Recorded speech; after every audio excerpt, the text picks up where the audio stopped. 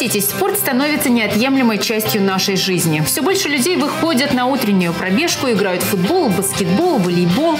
Практически в каждом дворе появились уличные тренажеры. Я уже не говорю о специальных спортивных площадках. Александр Евгеньевич, какие они, спортивные чебоксары?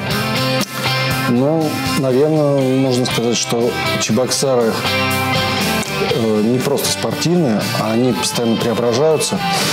Спортивных объектов становится больше. Э, причем не только для занятий дворовым спортом, но и для занятий профессиональным спортом. Угу. Вот мы сейчас как раз и находимся.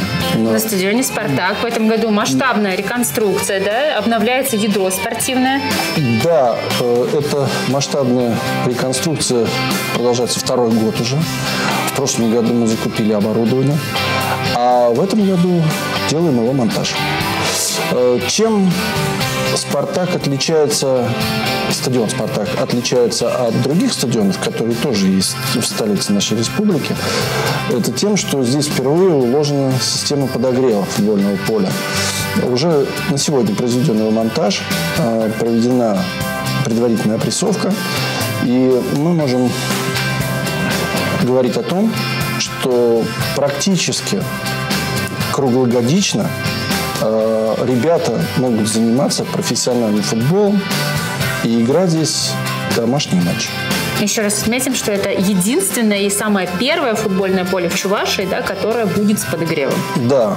Температура подогрева до минус 15 градусов. Это, есть, очень важно, чтобы поле было с подогревом. Да, конечно. Это значительно увеличивает возможности в тренировочном процессе.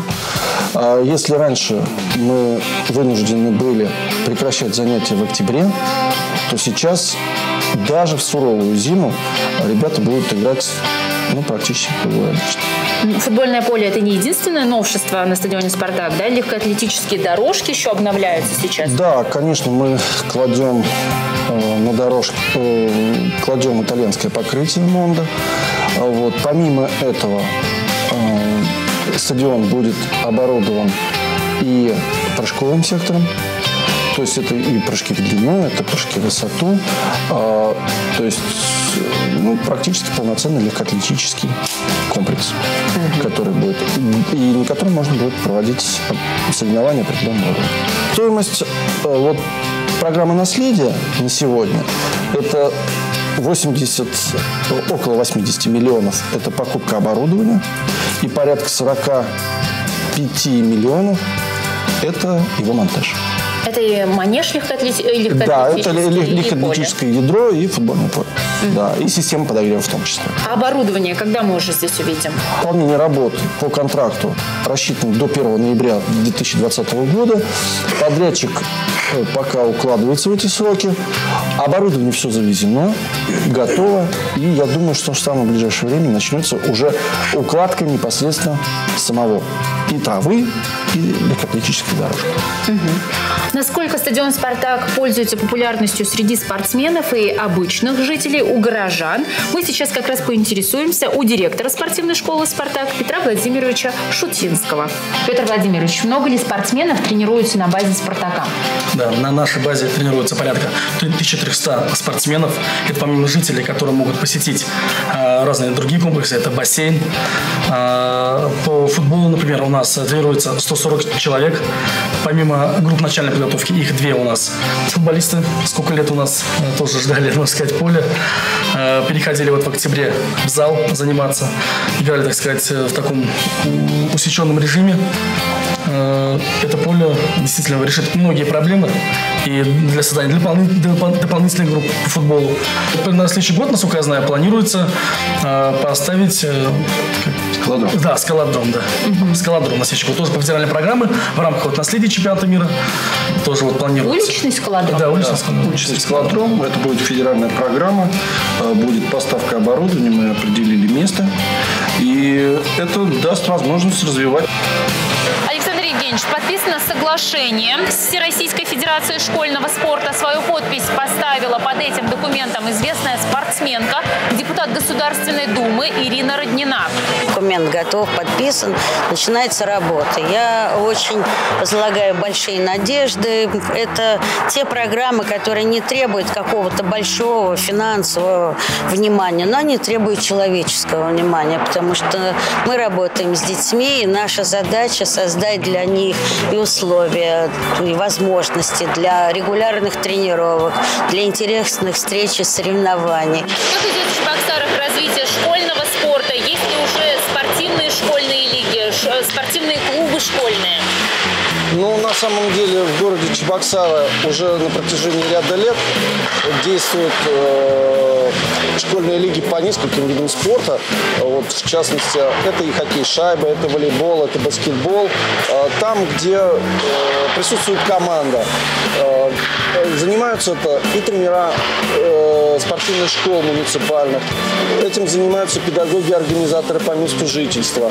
Этим занимаются другие различные общественные работники, которые э, зачастую бесплатно э, занимаются с детьми и помогают им совершенствоваться в этом виде спорта. А, например, только школьные лиги хоккейные мы начинали с 16 команд 4 года назад, сейчас их 32. Это какие виды спорта самые популярные среди школьных Наверное, лиг? самые популярные это хоккей, волейбол и баскетбол. Дети выбирают, да, такие направления? Да, дети, им нравится. Это как-то подчеркивает командный дух и, наверное, сплачивает как-то ребят. Вот. И успехи, которые они демонстрируют, они видны, видны прям. Потому что с ними занимаются не только любители, но и профессионалы. Э, те, кто сами в свое время поиграл в хоккей, или там в баскетбол, или то есть профессионально занимаются. И видно уже, они стали, они стали по-другому кататься. Они стали принимать шайбу, там мыслить тактически. То есть это все дает свои плоды. У нас в планах э, развития школьного спорта целиком и полностью завязано на спортивной инфраструктуре. Э, больше спортивных площадок, больше спортивных команд. А для детей, для родителей это бесплатно?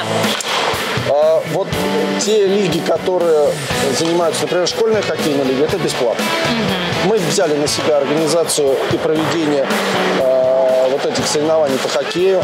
Мы э, нанимаем тренеров, мы организуем перевозки на гостевые матчи, мы платим судьям. То есть это полноценные соревнования, которые проводятся не один месяц. Они начинаются в конце октября и заканчиваются в апреле. То есть полноценная мини-континентальная хоккейная лига, если сравнивать. Систематически, да, да то есть у нас тоже дивизионы, дивизион Чапаева, там у нас все по полной программе. А спортивный дух вот среди ребят, вы все равно их посещаете, а, курируете, э, такой же, как среди настоящих профессионалов спортсменов? Вы знаете, я думаю, в некоторых моментах он даже сильнее. Почему? Настоящий спортсмен, он уже готов к победе. Он готов, он тренируется для этой победы. Он знает, что у него тогда-то будут соревнования. А ведь, э, допустим, вот у этих мальчишек на сегодня, вот этот турнир на сегодня, это единственный, где они могут показать свои способности. И э, они не являются профессионалами пока. Может быть, они будут и не в будущем. Но и поэтому вот победа для них более важна, чем вот именно для профессионалов. А какая есть у них перспектива развития дальнейшего? Игры школьной хоккейной лиги по хоккею, например, да, посещают тренера э, профессиональных команд, детских, юношеских, для того, чтобы где-то, может быть, и увидеть какую-то звездочку. Да, наверное, сегодня э, на коньки ставят рано, а эти ребята начали играть поздно. Но если ребенок талантлив, талантлив, это будет видно сразу. И найти этот талант можно и в 10 лет, и даже в 12. И он заиграет и будет показывать хороший результат. Давайте посмотрим на игру ребят. Давайте. Ну, я хочу э, быть хоккеистом. Я ну, почувствовал, то, что хоккей это мое, и ну, мне нравится э, заниматься хоккеем. Ну, и у меня очень хорошо получается. Ну, да, я бы хотел стать капитаном команды, и чтобы... Ну, потому что я чувствую то, что хоккей – это прям для меня. Хоккей – это командная игра. А в основных видах, командных видах спорта это Чебоксарский ястребы в баскетболе. Это футбольный клуб «Спартак» в Чебоксарах э, в футболе. Это хоккейный клуб Чебоксары в Чебоксарах. хоккее. Вот. И э, осталось решить вопрос с волейболом. Спорт-то начинается именно как раз в начальной подготовке. Я вообще всю свою, все детство и всю юность э, я занимался настольным теннисом. И это ежедневные тренировки. Это- Вот уже в зрелом возрасте, лет пять назад, мы организовали хоккейную команду администрации города. А, Наш глава администрации является капитаном. Мы тренируемся два раза в неделю на «Спартаке». А, Мы регулярно а, играли и, надеюсь, будем еще играть с э, командой Кабинета министров и Госсовета Чувашской Республики. Мы играли вот с пилотажной группой «Стрижи». И даже мы принимаем участие э, в первенстве э, в чемпионате Чувашской Республики среди непрофессиональных команд. Заиграли и даже заняли там второе место. О, отлично. Вот. Но, да, к сожалению, из-за занятости не всегда приходится. Но он захватывает хоккей. Но, тем не менее, теннис я не бросаю. Я все равно продолжаю заниматься. Автономное учреждение «Восток». Это единственное учреждение э, в э, спортивном, можно сказать, сообществе, э, которое не готовит спортивный резерв, как спортивная школа, а оказывает физкультурно-оздоровительные услуги различным слоям населения На территории на Чебоксар. территории города Чебоксар. Это 24 инструктора по месту жительства, которые разбиты по микрорайонам, э, э, по привязке, наверное, спортивных объектов больше. Например, э, либо это при школе какой-то стадион, либо это при спортивной школе, либо еще где-то какая-то дворовая площадка, которая построена. И вот это центр притяжения. И вот он на базе э, вот этого спортивного ядра собирает дворовые команды по футболу, волейболу, по зимой по хоккею, а, организует и проведение каких-то мероприятий, там веселые старты среди детей. Вот. Э, Это, наверное, хорошая практика для именно вот э, для тех детей, которые не могут, не хотят, И много времени на улице да, проводят. проводят на улице, которые не могут попасть в спортивную школу и заниматься профессиональным спортом. А вот так вышел, а тебе дядька-организатор говорит, ну-ка, мальчишки, давайте сбились в команду и давайте сыграем в футбол. Мы находимся сейчас на стадионе «Волга». Стадион нуждается в реконструкции. Это можно понять невооруженным взглядом. Александр Евгеньевич, как- на когда запланированы работы? Будут ли, будет ли здесь ремонт и вообще будут ли на это выделены деньги? Только за проектно-сметную документацию администрация города заплатила около 20 миллионов рублей. Вот. Этот комплекс э, проектировался почти год. Три раза мы вносили изменения в этот проект. И на сегодня я могу сказать так. Этот комплекс отвечает всем потребностям, всем проблемам, которые сейчас есть в муниципальном спорте. Э, Здесь э, будут представлены именно те виды спорта, которые сегодня недополучили какие-то спортивные площадки. А, Вот. И мы, Ну, какие конкретно вы например, стрельба из лука. Это цокольный этаж 50-метровый тем. А, Баскетбол. Это домашняя арена для игр чебоксарских ястребов. Это волейбольная площадка, которая сейчас, э, волейбольная секция, которая на «Спартаке». Это второй зал. А, Это тренировка лиц, тренировки для лиц э, инвалидов адаптивного спорта. Э, Более того, это сейчас организационная эта площадка и принадлежит от спортивно-адаптивной школе. И запроектирована для лиц с ограниченными возможностями полностью. Это лифты, подъемники, э, так далее. Весь перечень оборудования, который есть. На сегодня, э, благодаря главе нашей республики Олегу Алексеевичу Николаеву, дело сдвинулось с мертвой точки. Э, Этот объект э, пока попал в непрограммную часть федерального, федеральной программы строительства спортивных объектов. И мы рассчитываем, что в следующем году, в 2021 начнется его строительство. Это вот проект реальный, да, э, получается? Да, перед нами Уже утвержденный. да, это утвержденный, имея прошедший государственную экспертизу.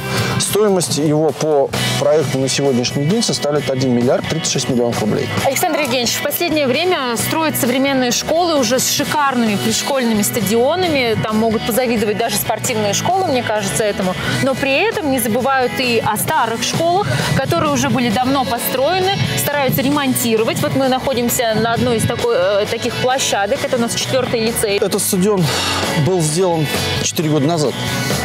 4 года назад. И он был первым э, в нашем городе, э, в который пришел федеральный проект.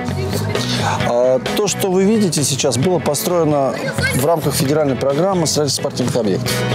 Это э, так называемый физкультурно-оздоровительный комплекс открытого типа, э, который вмещает в себя футбольное поле, беговые дорожки, универсальную игровую площадку, комплекс уличных тренажеров и хоккейную площадку.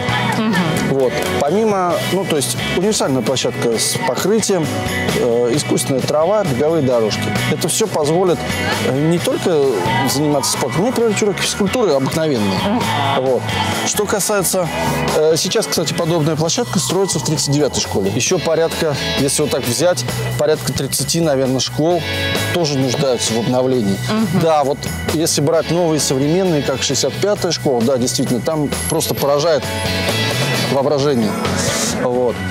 А, но новые понятно. А старые?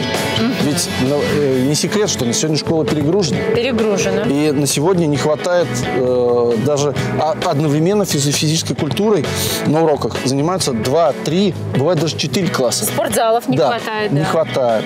Вот. И вот эта программа вот, по строительству факотов как раз и рассчитана на то, чтобы а, м, модернизировать не новые школы, а уже существующие с- со старой, даже иногда советской базой, которая была. В комплекте этого, в комплекте этого стадиона идут и блок-секции. Это так называемые э, перевозные раздевалки, а, где есть электричество, отопление, в общем, и они используются для тех, кто не является учениками школы, а приходит вот здесь, пришел, переоделся и поиграл в футбол. Даже жалко, если такие стадионы будут просто простаивать. Например, а здесь могут заниматься люди близлежащих домов. Вы знаете, вот на сегодня есть ряд документов, допустим, по антитеррору, которые э, вводят ограничения в этом вопросе, э, устанавливают дополнительные требования. То есть э, там указано то, что спортивный объект, стадион, спортивная площадка, хоккейная площадка должна быть огорожена от помещения школы. Вот тогда, да, туда могут э, пускать всех желающих. Например, вот в 39 школе такое есть. В этой школе придется дополнительно ставить какое-то ограждение только для того, чтобы сюда могли прийти жители близлежащих районов. Хотелось бы обратиться к нашим горожанам. Поддерживайте наших спортсменов, приходите на игры, на баскетбол, на хоккей, ведите здоровый образ жизни, занимайтесь физической культурой и спортом. Условия для занятий спортом создаются. И только от нас уже зависит, какой образ жизни мы выберем. Хочу верить, что активный. Ведь спорт – это движение. Движение – это здоровье. Будьте здоровы. Увидимся в следующей программе.